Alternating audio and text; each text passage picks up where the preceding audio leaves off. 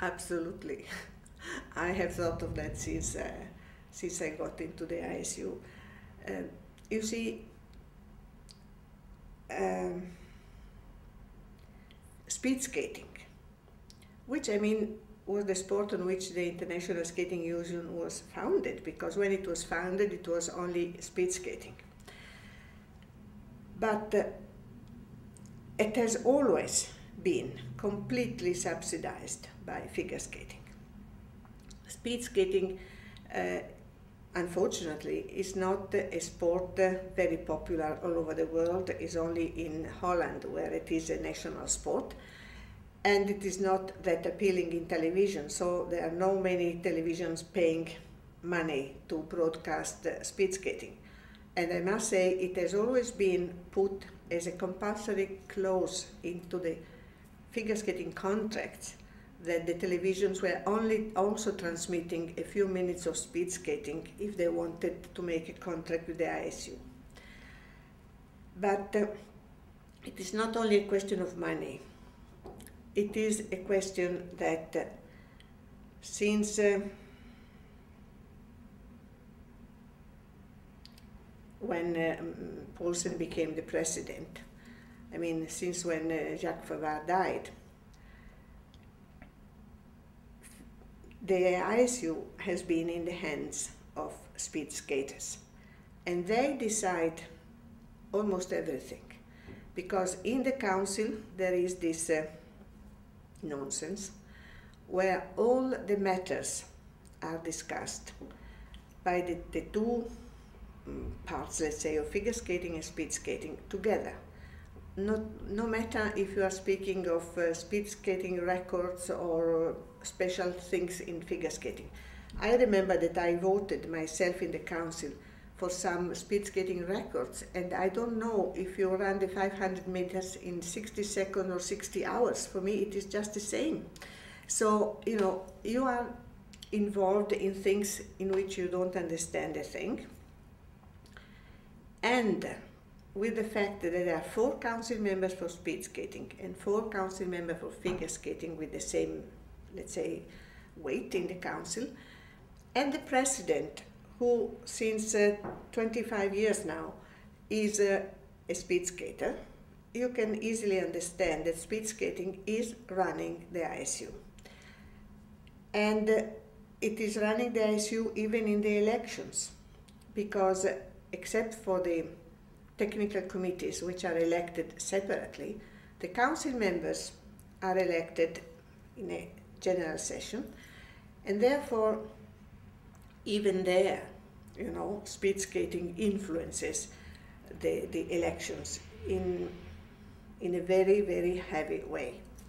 And now we have seen that the, the speed skaters are even involved in very technical matters such as the new system. So, in my opinion, uh, it would be the only possible solution to split the ISU there have been proposals which did not really foresee the splitting of the ISU, but at least uh, to have uh, separate meetings of the Council when dealing with the um, technical matters or special matters for each sport, and maybe have one meeting when you deal with general things such as signing of a contract or something like this. But this has been always very, very badly objected by Olaf Poulsen and now by Ottavio Cinquanta, you can imagine, because they are afraid that this would be the first step towards the splitting. And uh, it will be very difficult to achieve that. It was tried with the World Skating Federation, but it was uh, finished before even starting.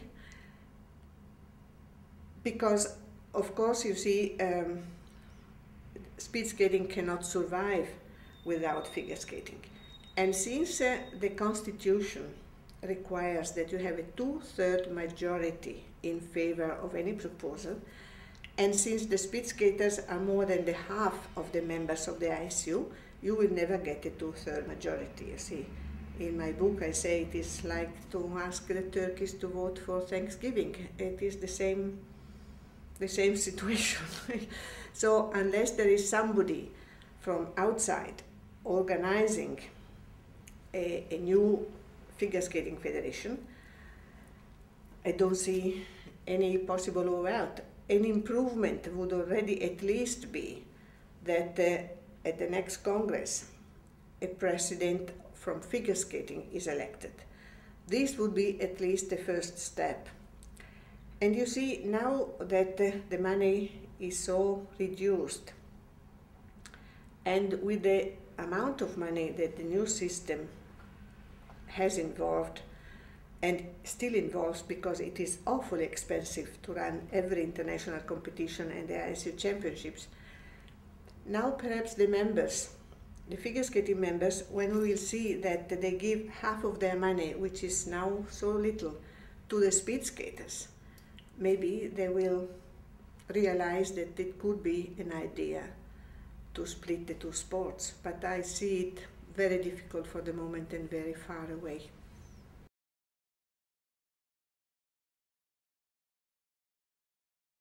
Well, the principles were very, very simple. I mean, to have a, a sport that works for the skaters, run by figure skating people only, by people who are supposed to know what they are talking about. Uh, the principles in the constitution on which I had worked were to have uh, tolerance zero for cheating and uh, crooks. They should be suspended for life, and this is a principle that even the ISU could follow. I mean, it's not necessary to be split. And uh, that was the main thing to have a federation controlled and ran by figure skating people who worked only in the interest of the skaters and of the coaches who were supposed to be involved in the administration of the federation in, at all levels. I must say that it was absolutely expected that the ISU would have a very strong reaction uh, when uh, the World Skating Federation was announced. Uh, the thing is that the ISU threatened uh, to throw away all the skaters, all the judges, all the members who would simply express an opinion in favor of the World Skating Federation, not to speak of becoming members. So it was obvious that uh, since nobody in the World Skating Federation wanted to do any harm to the competitors, uh, we did not even invite any member. On the contrary, I must say there was a there were a couple of members who said we will join, and I personally told them be careful, don't do that, because in the moment it would be extremely dangerous. And then you see, uh, after after this, let's say, nobody became a member, and really, uh, it was the end, the end of the story. There have been several mistakes made. Um, in uh, in good faith, I mean, there were some promises made by members that they would uh, join uh, immediately, by the strong members who join immediately. But um, the announcement was made a little bit too, too in a rush as the, the new judging system. Probably had uh, we waited a little more and have some more work done and some uh, other persons involved, probably it would have been different. But uh, it was uh, felt that uh, the announcement in Washington was uh, one of the best uh, ways to announce the World Skating Federation. And some of the persons that had absolutely promised that they would join the World Skating Federation, uh, when they saw the reaction of the ISU, they withdrew. And therefore, you see, it, it, it, it, it ended. It, it never came to light, I must say.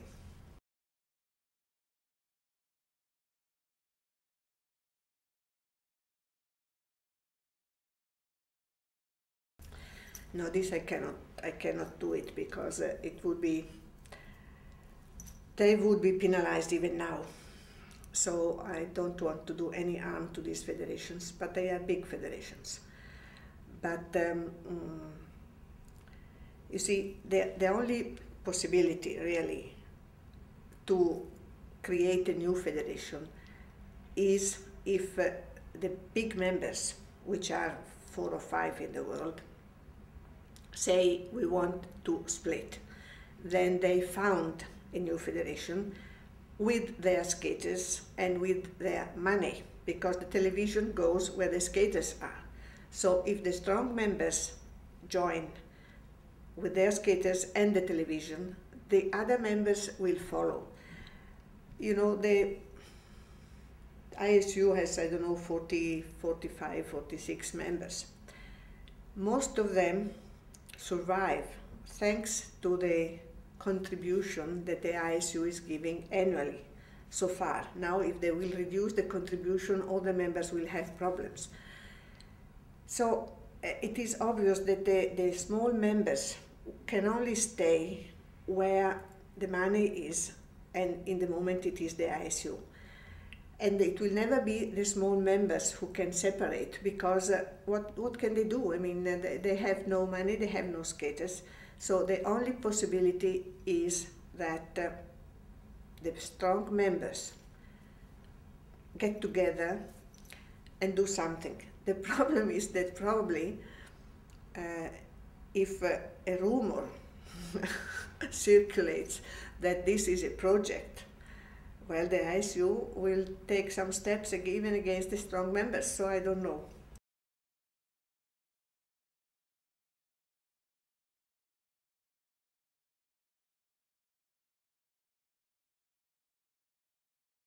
First of all, you see, there, just a clarification, there have never been WSF members because for the WSF, a member can only be a skating federation. So these persons that were involved, as myself and the, all the others that you know, have only been, uh, let's say, cooperating, working uh, on the preparation of this uh, constitution, more or less, and trying to create this possible World Skating Federation.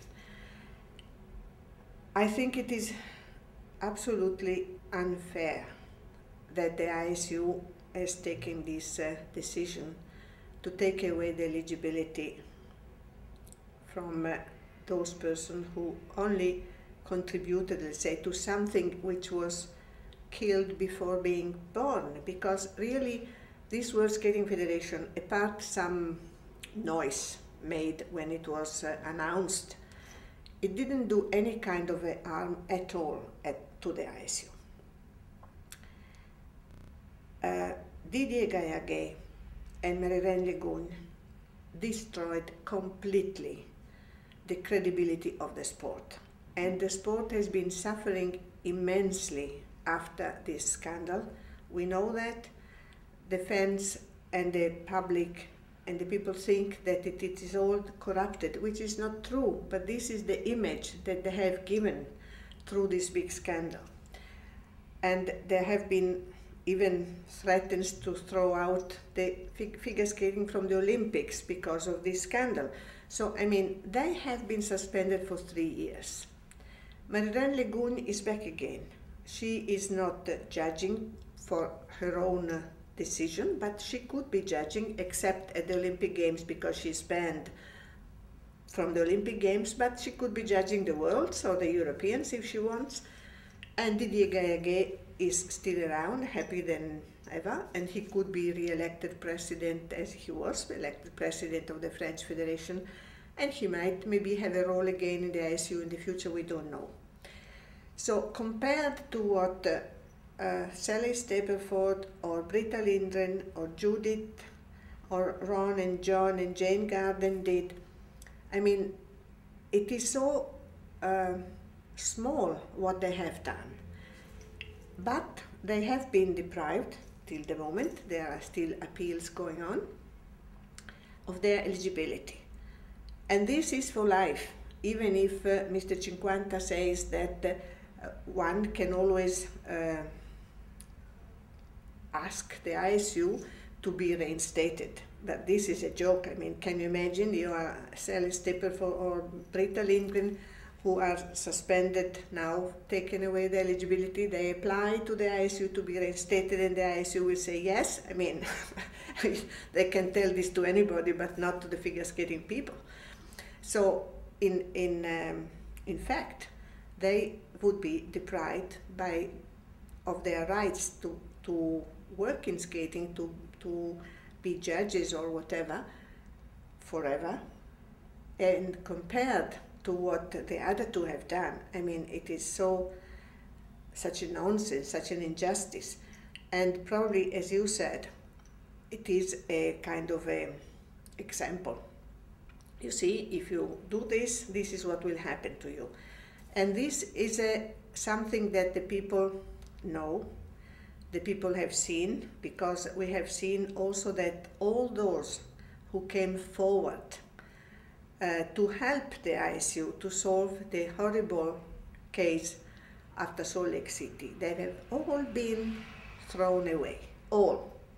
Sally, Britta, Hisanaga, uh, who else? And all the judges who came forward have been penalized with the severe sanctions because they did not behave well according to the ISU.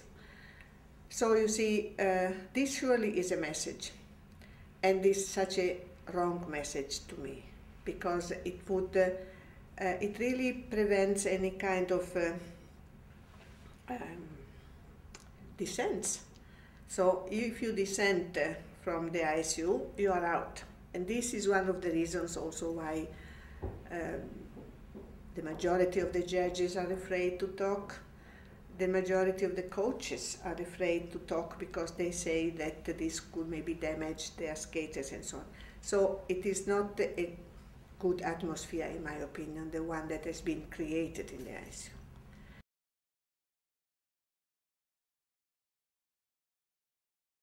I think that all the examples that we had from the past, uh, starting from uh, Hermann Schichtel in the time when uh, they proposed to introduce the new constitution uh, with me that uh, ha has been, let's say, not thrown out but made a, um, created a position for which I could not be re-elected because I was in, I dared to disagree. I openly disagreed with the way the ISU was conducted.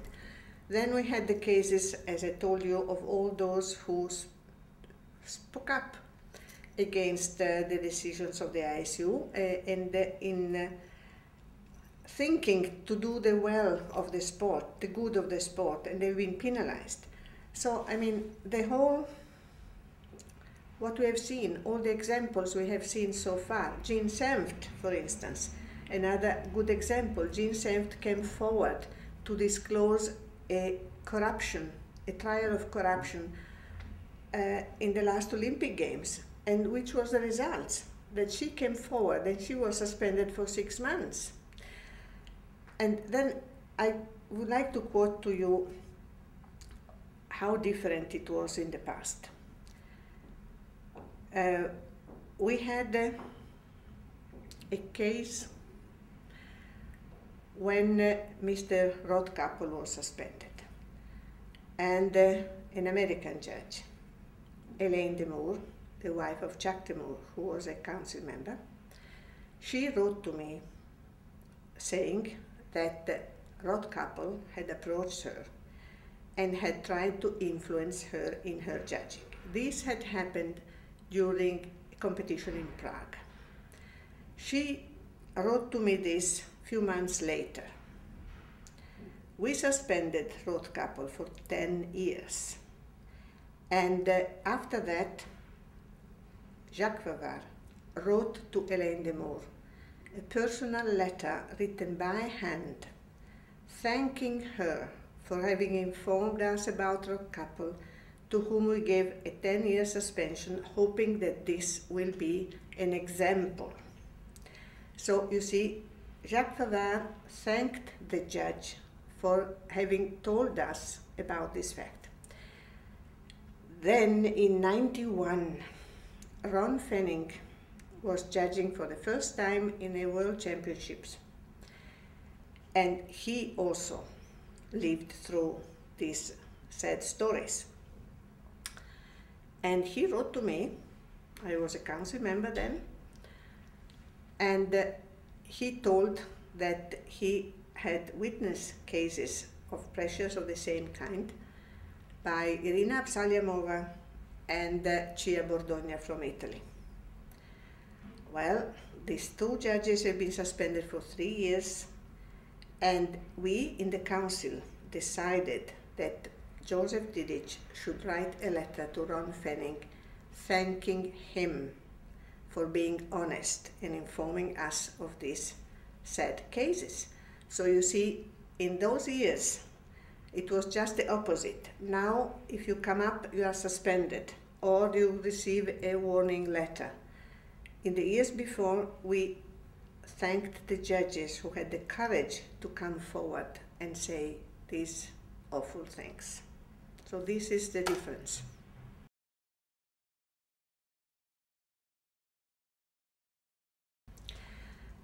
Well, we have to divide two things. Ottavio Cinquanta has had the great merit, if you want to say, to make excellent contracts for the ISU, especially after the famous case of uh, Tonya Harding and uh, Nancy Kerrigan, which of course made our sport the most popular in the world for a sad story, if you want, but became very popular. So he was very clever and very good in business. Um, his problem, in my opinion, is that he who is a speed skater, who for his own admission, he's not an expert in figure skating. He, in any case, wanted to interfere in a very, very heavy way in running of our sport. And this uh, not only with the new judging system, even before uh, when uh, they tried to, to cover the cheating, to put all the dirty under the rug, and uh, to change when they changed in the council the sanctions so that now there are no more sanctions at all. And uh, so I, I think that all these uh, I would say only political way of running running figure skating is very bad for our sport. And in my opinion, um, many of the decisions taken during the Ottavio Cinquanta reign have been uh, not good for figure skating. And we see now the results. I mean, uh, it is really concerning in the United States and Canada, we have seen now the Grand Prix series without public, without skaters more or less, and uh, um, the fans are not, not going any longer to see the competitions. They are not interested any longer in the sport in television. So there must be a reason behind all that there are many reasons together, let me say maybe even economical reasons if you want, but the ISU should start thinking if there isn't something in the way they conduct the sport that is damaging it.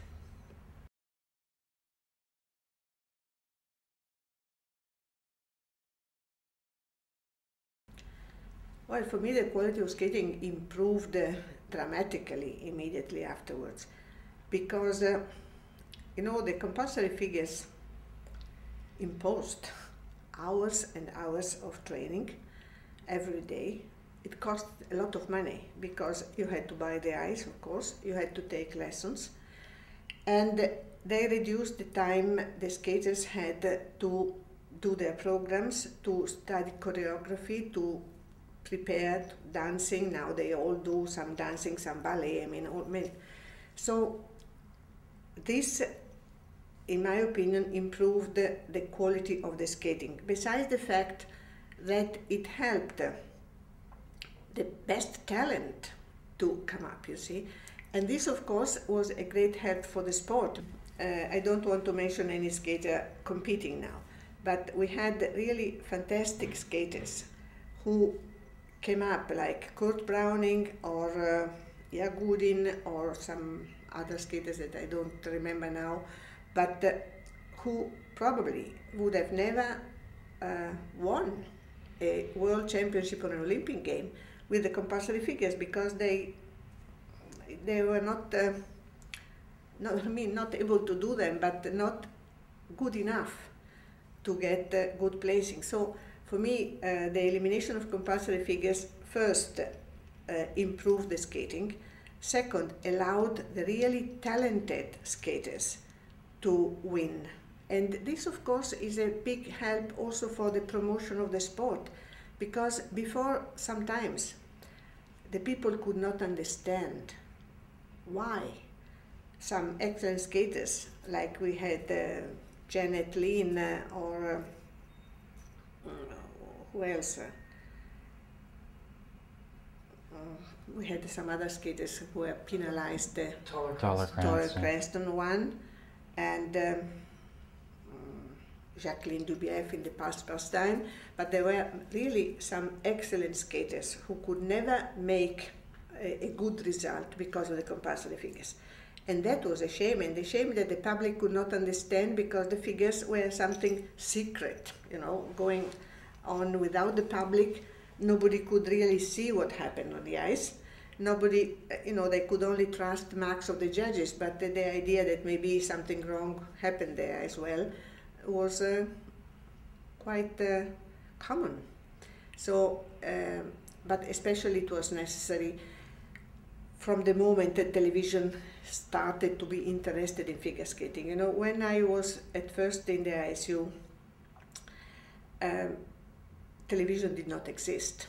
The first contract with television was made by with Dick Button many many years ago, but at the beginning there was no television at all. So the only people that could see the sport were the spectators in the arena. And afterwards, when the television came in, and we felt the need, you know, to make the sport uh, appealing to television. So it is not true that uh, when I decided to uh, fight for the election of figures, it was because of television, as somebody says it was not because of television, but it was because I felt that if we didn't do that, the sport would die. And uh, I still think that it was a great, uh, a great fact, a, an important step. And um, uh, somebody says now um, the skaters have difficulty in doing the steps because they don't have the figures. First of all, I don't think it is true. But second, it all depends on how you plan the trainings. Because uh, uh, you should still learn to do the threes, the brackets, and the rockers without the need of having perfect edges. Unless now with the new judging system they will invent that they have to go and see if the rockers were clean on the ice, maybe, to get a level 5, perhaps.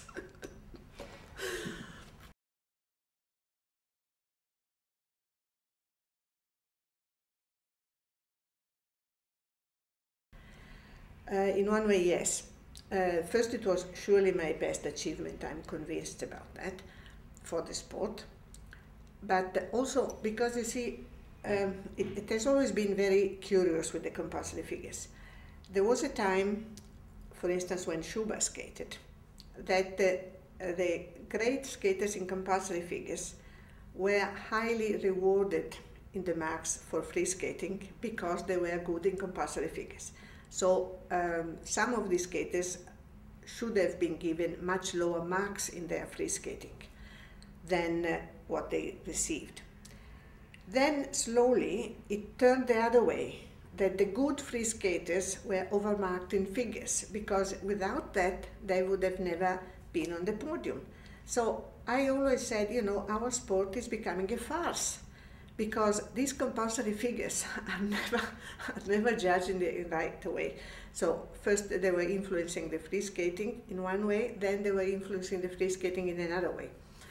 And uh, so it was really um, ridiculous. Sometimes, as I mentioned also in my book, for instance, Katarina Witt, with her block judging, she was really overmarked in compulsory figures, which was wrong for the other skaters. As I always say, it was good for the sport because uh, at least she won the championships, she won the Olympic Games, and she was a marvelous skater and she was going doing well for the sport. But it was absolutely unfair. I mean, uh, uh, to the other skaters who maybe could have won uh, if she had not been uh, given gifts by the judges in figures.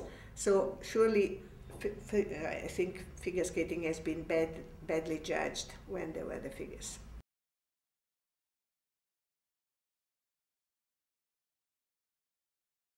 Yes, because really, you know, they were no doubt the greatest skaters in those years.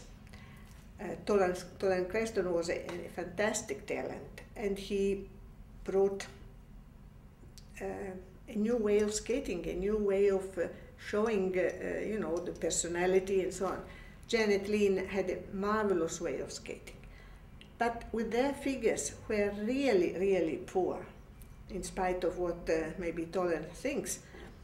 And with those, the, the weight that the figures had on the final result, Toller could never become the world champion, and the same for Janet Lynn. So it was, uh, they were really penalized for having been skating in a wrong time.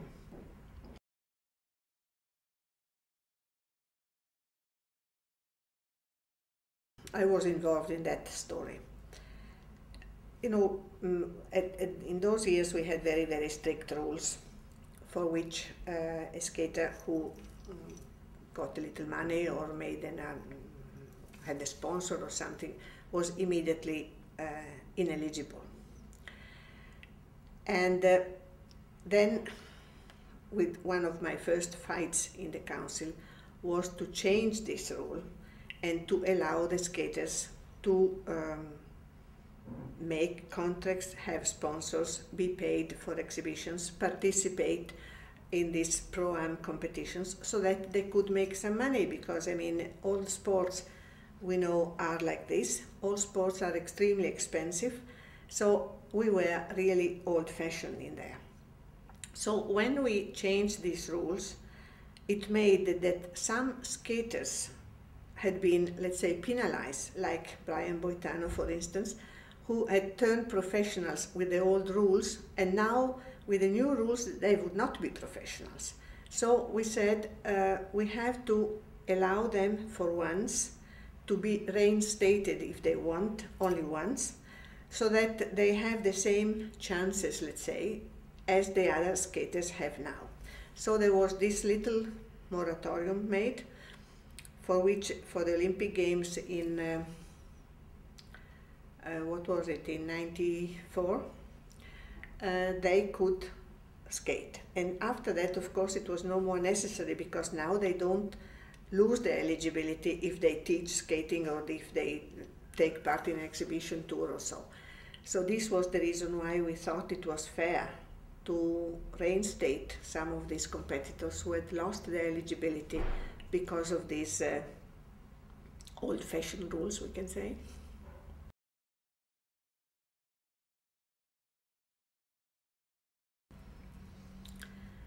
It's difficult to say in the present situation, you know, because I don't know how this uh, new judging system will uh, affect the sport in the next years. Um, I hope, my hope is that uh, something will be changed, drastically changed, after the Olympic Games. I know that for the moment, and this is correct in one way, uh, the ISU doesn't want to make any changes, even if some things they recognize that they are wrong. But they say we cannot change them now. We are too close to the Olympic Games. We already made a revolution, so we have to stick to that. But I hope that some of the what I call the aberrations of the new system will be, I hope, uh, eliminated or changed in the next few years.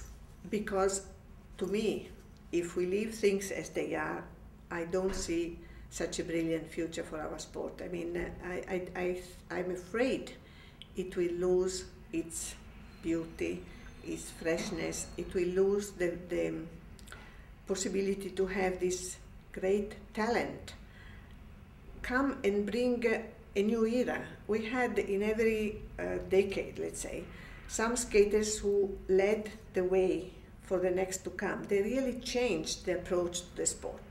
But if you have all these restrictions, all these limits, all these strings, I don't think there will be anybody who will come up with new elements, with new lift, with new ideas, because they cannot do them. I mean, eh, they are not foreseen in this uh, so strict program.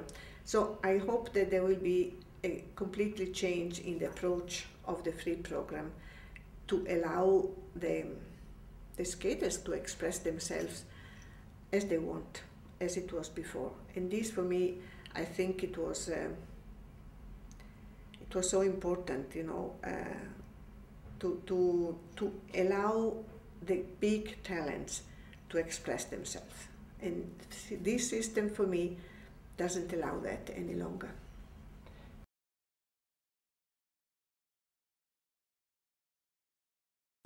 That's the other problem. Uh, if you look at the number of injuries there were last year till now, it is terrible because there has always been injuries, of course, because I mean, when you do a sport, it is possible. But we have had so many injuries, one after the other, last year.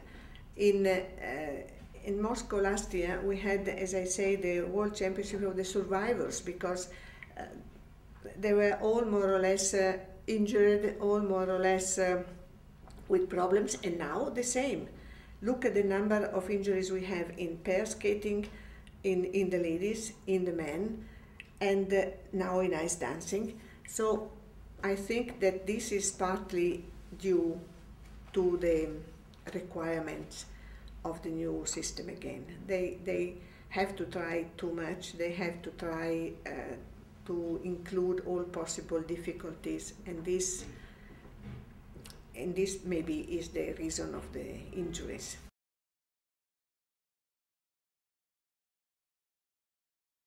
uh, the competition in, in Calgary was, uh, well, I, I well, very well remember that because in one way it was a little bit of a nightmare for me because I was the referee of this event and I liked both skaters very much. And um,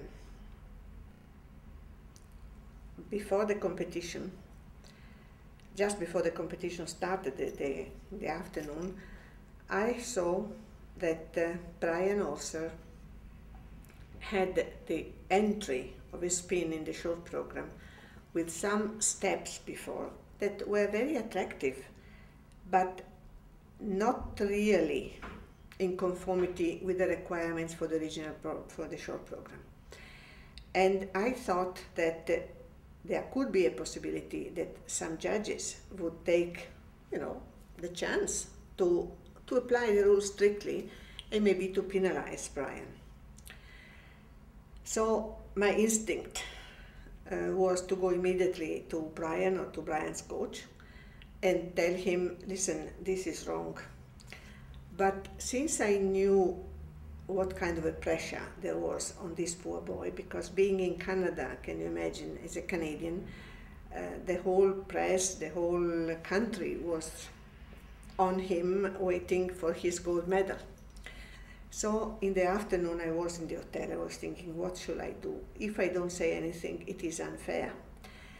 And finally, I said, you know, the boy could lose the Olympics for something which is not his fault it is his coach's fault, who should read the rules, which is not often done by the coaches. So I pick up the phone and I call the village, I, the Canadian uh, delegation, and uh, I spoke with the team leader and I said, listen, this is what I saw. In my opinion, this uh, entry to this uh, required spin is not allowed. So you, it's up to you what you want to do. and uh, I don't think they were very happy about the fact that I told them, but I, I really felt it was my duty. And the next day, when I saw the short program in competition, the entry of the spin was changed and it was okay. So I was very happy because I said, okay, then uh, uh, I did the right thing. And um, in that competition, I must say that uh, again the figures played uh, their role because Brian Boitano was definitely overmarked in the compulsory figures there. Uh, in my mark, he was not first, and uh, in the marks of Ben Wright, who was my assistant, he was even lower, I think. So if Boitano had been uh, properly judged in compulsory figures, probably Brian also would have been the Olympic champion. And uh, but you see, the figures played uh, their game again, and uh, then after the free skating, uh, in my heart, and I must say that Boitano definitely deserved the title because he skated absolutely the best program of his life with the best choreography of his life because uh, Boitano had a, kind of way of skating as everybody has. And that program suited him very much for his way of skating. So he was absolutely perfect. While Brian also although, although he skated well you could see that he was in tension you see. He was not just uh, leaving his program as he used to probably because of the pressure. So, on the whole, I think that the result was okay. And uh, what I did, uh, I think, was again to help the skater. So I feel it, it was not, uh, it was correct.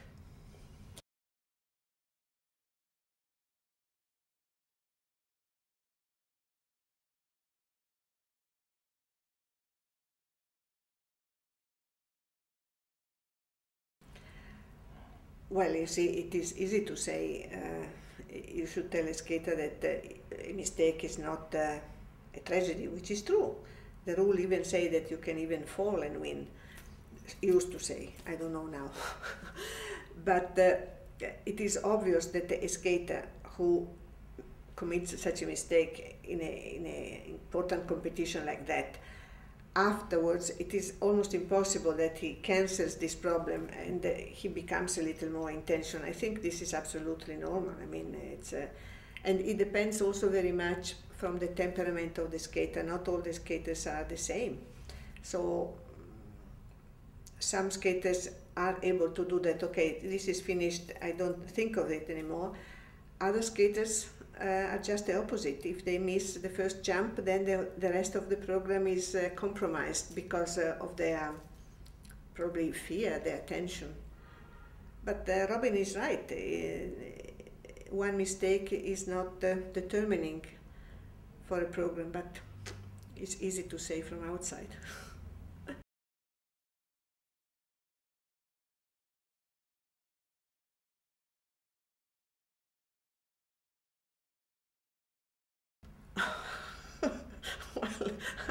it is a curious statement because there, is a big difference between that. I don't know if he, if uh, Vedenin wanted to say that he was proud to have put uh,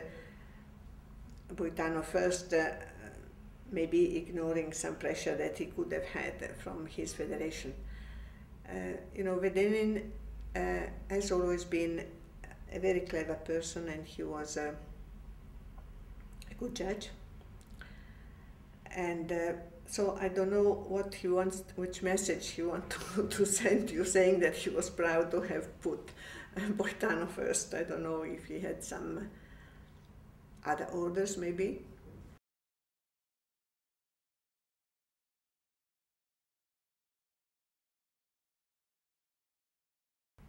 Uh, for me too, he was clearly better. He was clearly better for one tenth of a point, but in that time, in, in, in one tenth of a point was uh, quite important.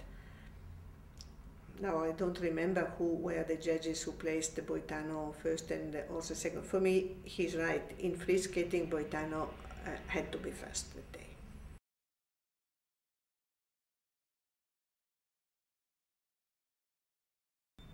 Because of her temperament she was fantastic. Uh, in the moment she went uh, on the ice to compete, uh, you know, she she uh, she exploded. I don't know. Uh, I think she she had the right temperament for the competition. There are some skaters who are good uh, during the trainings, and then as soon as they see the public, they die. Uh, she needed the public. She needed the, the audience. She needed to, to show herself, you know. And she was, of course, beautiful. She is beautiful, but she was very beautiful. And she was a, a great uh, actress. Um, she, um, her temperament, I think, made her win. And because she was she was good in jumps, okay, but that was not her best part. The best part was really the way she was able to interpret the music. When she did Carmen, she was Carmen and that that was her great ability. You see, she was a really a champion. And for me, when I say uh, she was a champion, is also because I never consider a great champion a skater who comes once, wins, and goes. Uh, you become a great champion if you can be a champion for several years. I mean, you, you show that it was not a chance that you won that title one day. And Katarina did that. She won. Uh, many Europeans, many worlds, uh, two Olympics. So she was a real champion. But of course, uh, again, she was very much helped in the compulsory figures. That, that's it, that's for sure.